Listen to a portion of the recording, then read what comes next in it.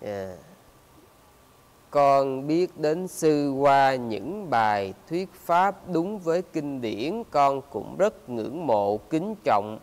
Và nghe các bài pháp sư giảng hàng ngày, con có một thắc mắc mong sư giải đáp. Theo con được biết trong giới luật thì các sư không được nhận tiền và tài sản, nhưng con lại thấy trên youtube của sư có để số tài khoản mang tên sư không phải tên chùa hay tên người hộ độ vậy thì sư có phạm vào giới nhận tiền hay các giới liên quan? Như nói mớm để nhận cúng dường không? À mong sư hoan nghị giải đáp để cư sĩ chúng con củng cố thêm lòng tin với tăng bảo. Rồi thì bây giờ hỏi thẳng là bây giờ sư có phạm giới hay không? Thì à, thứ nhất á, là sư không kêu gọi người khác cúng dường cho sư.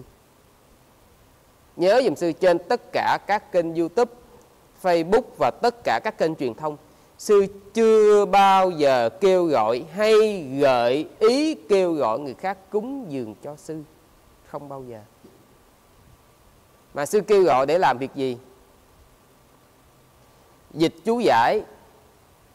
Xin thưa với quý vị, bây giờ mình kêu người ta dịch chú giải rồi rồi người ta hít thở không khí rồi tự nhiên người ta ngồi người ta dịch cho mình. Khỏi nuôi cha nuôi mẹ, người ta dịch cho mình. Người người ngoài mà người ta dịch thì người ta phải kiếm sống. Thì sư phải kêu gọi nó không kêu gọi chú giải đâu cho quý vị xài. Sư đồng ý sư có phạm lỗi về vấn đề đó tức là kêu gọi người khác dịch chú giải. Đó là cái lỗi đó. À, tức là kêu kêu gọi người khác hùng phước để mà có tiền để mà dịch chú giải. Mà bây giờ không kêu thì sao? Quý vị thấy là Phật giáo mình bao nhiêu năm rồi? Bao nhiêu năm rồi chưa có nổi một bộ chú giải. Thì thôi bây giờ coi như là sư mang cái vết nhơ đó là kêu gọi để cho có người được nhờ. Quý vị thấy hoan hỷ thì mình à, hỗ trợ còn không hoan hỷ thì thôi không sao hết. À. rồi sư kêu gọi để làm cái chuyện thứ hai sư kêu gọi sư kêu gọi để làm cái gì? Sư kêu gọi xây cái cái cốc nhà để cho tu nữ và cái uh, thiền sinh tới chùa để tu tập. Bây giờ người ta tới chùa người ta tu tập người ta không có chỗ ở. À, thì bây giờ có nên lên tiếng thưa là bây giờ tôi cần như thế để mà thiên hạ họ hỗ trợ hay không? À, đó. Thì theo quý vị á, thì bây giờ cái những cái chuyện đó bây giờ mình không kêu thì người ta nói là bây giờ Ờ, con nó phải khóc má mới biết cho bú chứ. Không nói ai biết ngứa đâu gãi. Có những chuyện thì à, sư không biết là bây giờ nếu mình không không kêu gọi thì làm sao phải làm cách nào để được như vậy? Ừ. đó. Cho nên là nếu như quý vị vì sự kiện đó quý vị chỉ trích sư thì sư chấp nhận điều đó.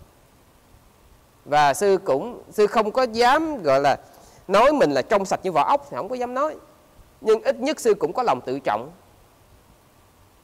Thông qua việc là sư chưa bao giờ kêu gọi là cho tôi tiền đi cho tôi tiền đi cúng dường cho tôi cúng dường cho tôi tôi sư chưa bao giờ nói. Còn việc là phật tử họ hoan hỷ à, họ hộ độ sư để sư còn có kinh phí sư nuôi giới tử kinh phí sư đi hoàng pháp kinh phí sư tổ chức khóa tu thì đó hoàn toàn vào niềm dựa vào niềm tin của quý vị và sư vẫn luôn tri ân tất cả những vị đã hộ độ sư cho tới bây giờ. Cho nên nếu như quý vị có sự chỉ trích sư thì sư chấp nhận điều đó. Còn có những cái sư không có làm thì sư nói thẳng là sư không có làm, ha?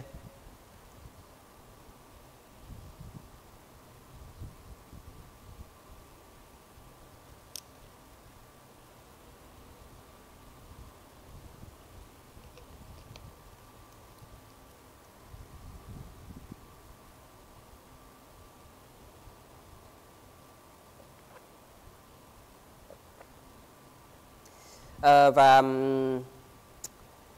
cái này á thì khi cái cái hồi mà sư bắt đầu sư lập ra cái quỹ hoàng pháp á thì sư cũng có ưu tư lắm. Sư ưu tư cái chuyện mà kêu gọi á. Thì à, nó có hai cái sự kiện như thế này. Cái sự kiện thứ nhất á, là sư hỏi thì có một vài vị à, sư ở đang ở pa ốc á, mà quý vị biết là sư sư ở ba ốc thì cũng là hơi hơi bị căng cái vụ mà giới thì các sư cũng à, à, gọi là an ủi dùng cái từ an ủi thì à, an ủi sư như thế này. Thứ nhất là mình à, làm cái chuyện là mình làm chuyện công nó không phải là cái chuyện cá nhân. À và cái thứ hai á, là nếu như mà cái nói về cái chuyện phạm giới á, thì sư xem xét giữa cái chuyện mà cái giới đó và cái lợi ích mà nó mang lại cho mang lại lợi ích đó, không phải lợi ích của mình đó, không phải lợi ích cá nhân đó, thì sư cứ xem cái đó mà sư làm liệu mà sư làm thôi. Thì à, cái này thì thôi thì tùy ha rồi đời mà. Để cho quý vị tự quý vị phân giải. Rồi chúng ta xem qua câu hỏi tiếp theo.